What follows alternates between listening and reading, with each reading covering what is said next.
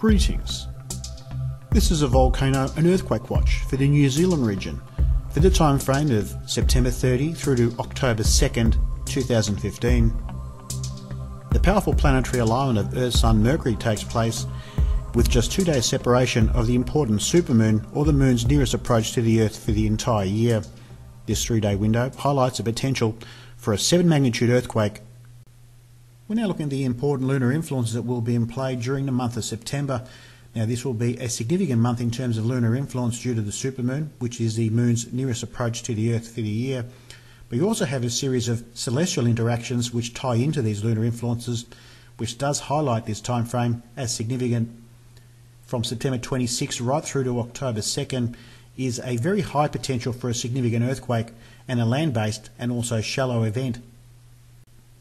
It is worth noting that September 28 marks the supermoon or lunar perigee, and just two days after, the important planetary alignment will take place between Earth, Mercury, and Sun.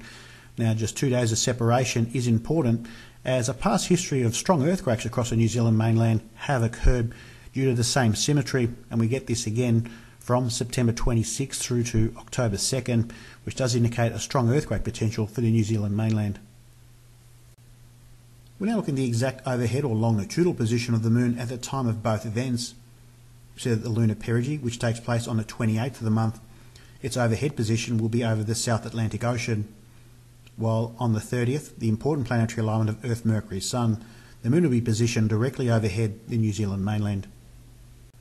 It is worth noting that the Earth will be involved in four alignments during the month of September, as well as the important partial solar eclipse on September 13 and the total lunar eclipse on September 28.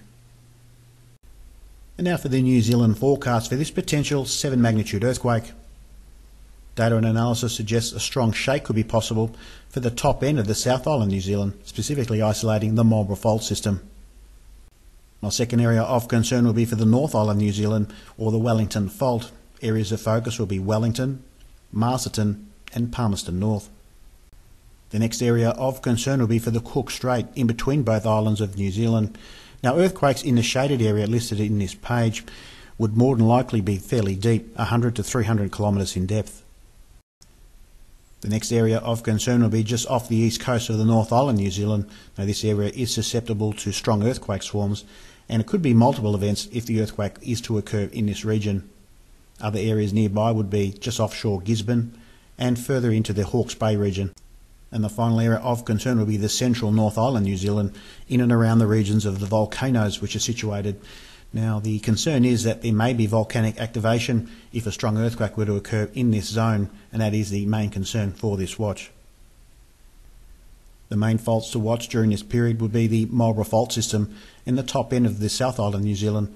The areas of focus would be the Hope Fault and the Awatere Fault, and less likely but also possible the Clarence Fault.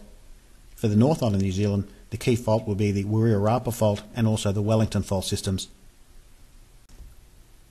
New Zealand is the most active place on the earth in terms of earthquakes. Since 2010, nine earthquakes have been registered over six magnitude, makes this area perhaps one of the most hazardous places to live. As we can see, the shakes that have come in clusters since 2010, multiple events in 2010 and 11 around the South Island, New Zealand and Christchurch have migrated northward from the Pegasus Bay into the Cook Strait, and recently earthquakes in the North Island, New Zealand, in and around the Palmerston North region and Wellington. Now, this trend may continue. There could be another shake in and around this region for the North Island, or could be a further progression heading back south. And finally, wrapping up the video, there is a potential for a volcano to be activated across the New Zealand North Island. Now, the volcanoes of focus will be definitely Lake Taupo and Ruapehu, there's also White Island could become active again, and it's definitely worth consideration during this watch. Further supporting a strong shake for the New Zealand region, the upcoming Earth Mercury Sun alignment has a strong mirrored symmetry into the September 4 2010 planetary geometry is almost identical. We see the position of Venus and Mars with respect to the Earth is strikingly similar.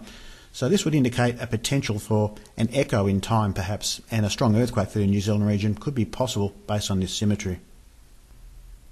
Back in 2013, a video was created and a forecast for the New Zealand region for 2013, 14, and 15.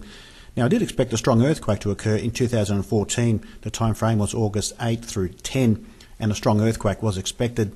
we end up getting a very big earthquake in the Micronesia region, magnitude 6.8, five days prior to this forecast.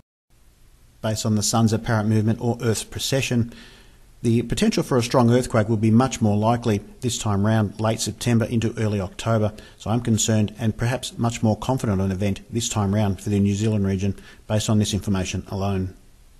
And that concludes this volcano and earthquake watch for the New Zealand region for the time frame of September 30 through to October 2nd, 2015. For more information, please visit solarwatcher.net where there will be more content for members and subscribers as well as a website newsletter. I am also available on my new Facebook page, Quake Watcher. Annotations and results of this watch will be added at the end of this video, and I will add a small clip of the past earthquakes and the Earth-Mercury Sun alignment symmetry and the New Zealand region. Thanks for watching.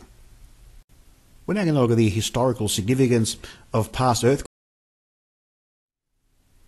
A magnitude 6.3 earthquake struck Christchurch on February 22, 2011 this earthquake had 183 deaths associated. Magnitude 7.1 earthquake struck Darfield, Canterbury on September 4, 2010. This was a widely felt earthquake felt all across New Zealand. A powerful 7.8 magnitude earthquake struck Dusky Sound in the Fiordland region. This occurred on the 15th of July 2009. Now, this was the biggest earthquake since the Buller and the Hawke's Bay earthquakes of 1929 and 1931. A magnitude 6.7 earthquake struck in Gisborne on December 20, 2007. This was a powerful offshore earthquake that caused extensive damage to the Gisborne region. A 7 magnitude earthquake struck in the Wairarapa region on the 2nd of August 1942. This was a devastating earthquake, the second 7 magnitude earthquake for the year. The second occurred on the Earth Mercury Sun alignment a magnitude 7.6 earthquake in the Horoeka region on the 5th of March 1934. This was a widely felt earthquake, even felt as far as Dunedin